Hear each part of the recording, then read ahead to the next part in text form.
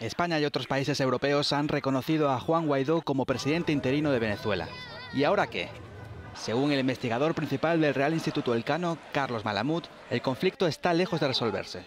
Aunque descarta que el país se vea envuelto en una guerra civil, sí que augura próximas tensiones. La crisis venezolana no es una crisis que haya estallado ayer, es una crisis que viene de muy largo y que tampoco se va a resolver en 24 horas por más que España o la Unión Europea decidan reconocer al nuevo gobierno. Para Malamud, la decisión del gobierno de Pedro Sánchez corresponde a su obligación de ejercer un rol predominante en la crisis venezolana, por razones históricas y de población, aunque con matices.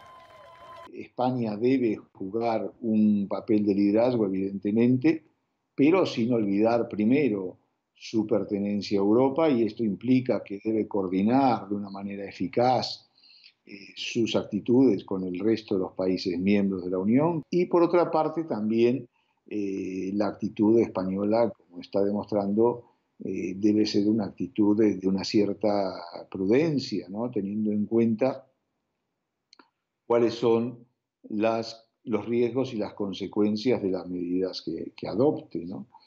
En los próximos días veremos en qué se traduce ese apoyo de España y Europa al gobierno de Juan Guaidó.